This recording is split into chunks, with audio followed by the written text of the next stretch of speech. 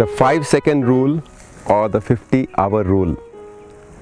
This is another principle which I follow a lot.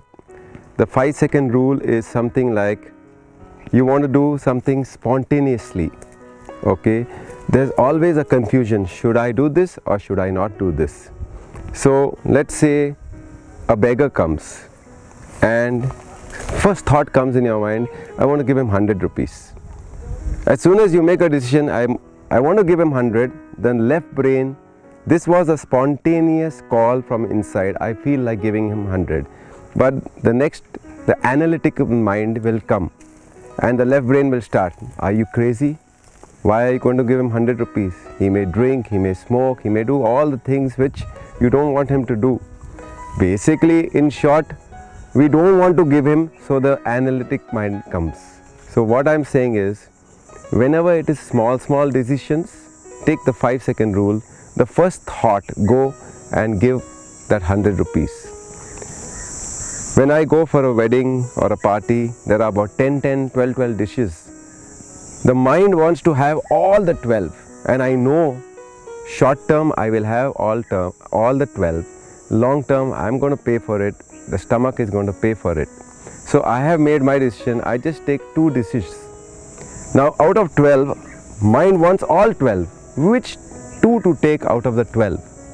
I just observe my mind and see the first two thoughts which come in my mind. And the first two thoughts within 5 seconds, I make my decision that these are the two things I wish to have.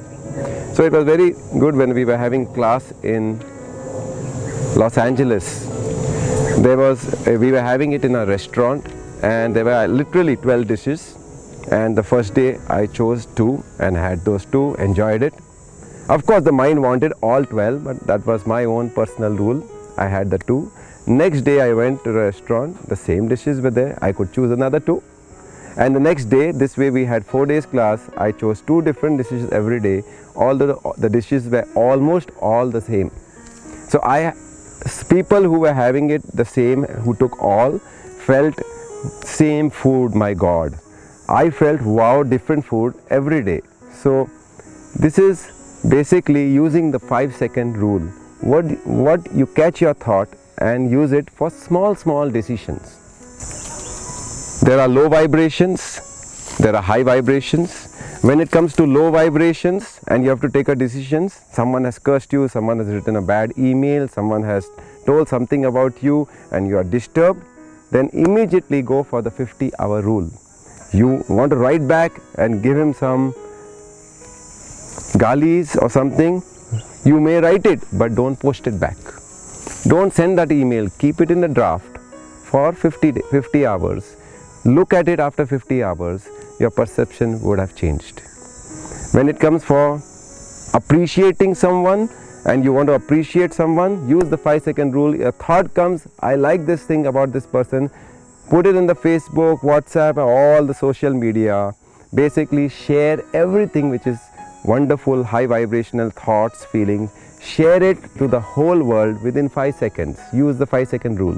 When it is low vibration thoughts, emotions, hold back 50 hours, give yourself time, then rethink about it and then also I would say keep it with yourself. There are many ways which we share to overcome the low vibrations. Use one of them. Okay. So one of them is just writing it down or, or writing on a piece of paper, tearing it up and sending it to the universe. So there are many ways, use one of them. Thank you very much.